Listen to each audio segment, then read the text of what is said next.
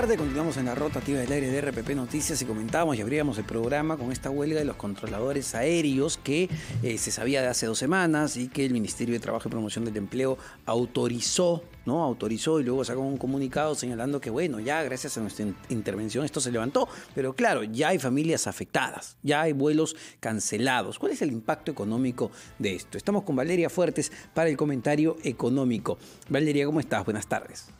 ¿Qué tal, Omar? ¿Cómo estás? Un saludo a ti y a las personas que nos ven y nos escuchan en todo el país. Y bueno, sí, lamentable lo que ha pasado el día de hoy. Muchas personas, muchas familias eh, se despertaron ¿no? con, ansias de viajar a otros lugares, a Cusco, a Arequipa. Decían, vamos a pasar un buen fin de semana, una buena Semana Santa en familia. Y los ha sorprendido este paro eh, que lamentablemente se sabía ya desde hace dos semanas. Vamos a hablar ahora de, del impacto económico, porque hay varias familias que dependen justamente de esto. Destinos afectados, Arequipa, Ayacucho, Tacna, Trujillo y Cusco. Los más favoritos cuando hablamos de destinos eh, turísticos, ubicamos a Cusco y Arequipa, digamos como destinos... Eh, más, más requeridos por los, por los visitantes. Y ojo, esta Semana Santa, ¿qué se mueve más? El turismo interno.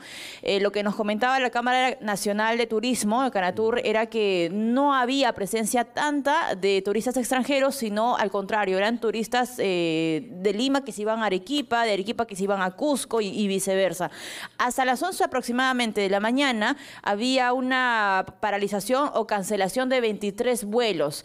Eh, haciendo cálculos, se estima entonces que cerca de 1.335.000, perdón, 1.035.000 dólares perdidos en lo que va de esta mañana. Son vuelos que se han cancelado, 23 vuelos, cancelados. Solo en vuelos. Solamente en vuelos. El 5% de personas que se trasladan de un punto a otro por Semana Santa viaja, viaja justamente en aviones. lo decía solo vuelos porque esa familia que, por ejemplo, iba a Cusco, tenía una reservación de hotel, iba a almorzar, iba a cenar, iba a comprar un pasaje turístico, es decir, toda la cadena de turismo que agrupa una barbaridad enorme de, de actividades se ve afectada, pues, ¿no?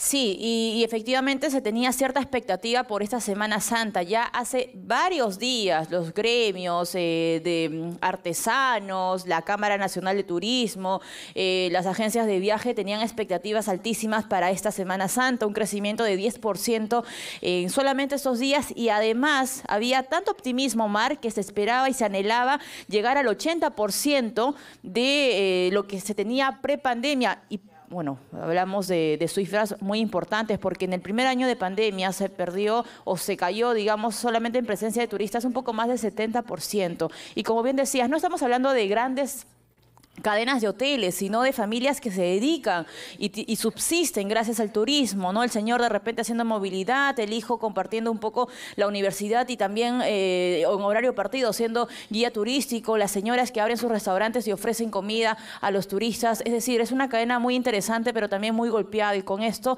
va a ser eh, muchísimo más. Arequipa se esperaba que tengan 5 mil, 10 mil, eh, mil asistentes y Ayacucho cerca de 20 mil personas en Huamanga, solamente en Huamanga dado, Valeria, que esto lo aprobó el Ministerio de Trabajo, esta huelga, esta paralización justo en Semana Santa, recordarle a la ministra de Trabajo cuánta gente depende del turismo en este país, ¿no? Eh, según la Cámara Nacional de Turismo, cerca, eh, y me quedo corto, de 4 millones de personas que de alguna manera están vinculadas a la actividad turística. Por eso es importante cuidar justamente este gran sector. Muchísimas gracias, Valeria, por la información económica.